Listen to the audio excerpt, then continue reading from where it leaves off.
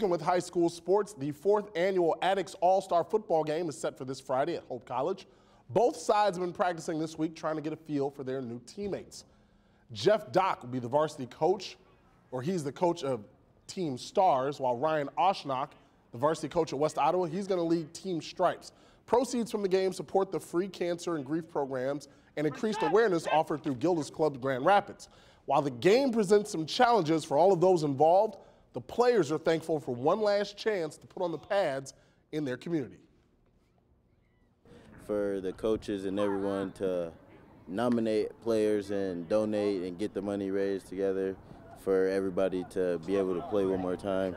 For like even those that's not going to be able to play at the next level, I just feel like it's a good thing. You know, trying to put an offense and a defense and special teams in in four days is is uh, is interesting, needless to say. But when you have really good players that get the game of football, it makes it a whole lot easier. I mean, it's something really special. Not a lot of people get this opportunity, and um, you know, I'm very blessed to be able to do this, represent Zeeland one more time, and also play with some new people.